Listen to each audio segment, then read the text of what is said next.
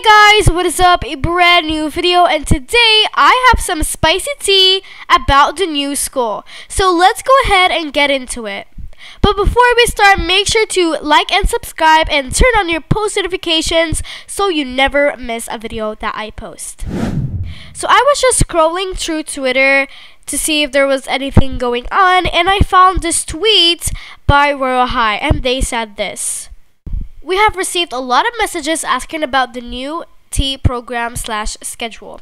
We are getting very close to being able to share more details. We are just working on to finalize some things. We have not forgotten. We hope this blows your socks off, if you're wearing socks, of course. And someone replied to them and they said this Can y'all just say the new school isn't coming out this year either instead of making us suffer? I mean, I do agree with Noah, to be honest. Because Royale High say this every single year, year after year after year after year.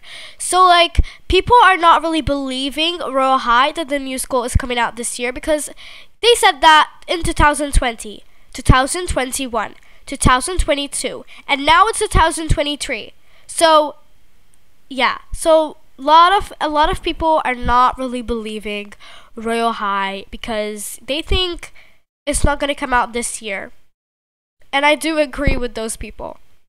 And Royale High replied to Noah and they said this The update will come this year.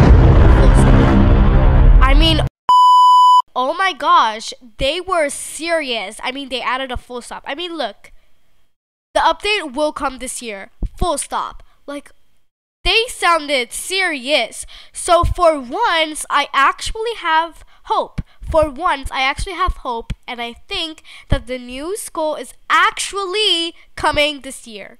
Anyways, guys, this was a short video, but I just wanted to let you guys know about this. But this was just a short video, but anyways, guys, thank you so much for watching today's video. I hope you guys enjoyed it. Make sure to subscribe and like, and I'll see you guys with another video. Bye!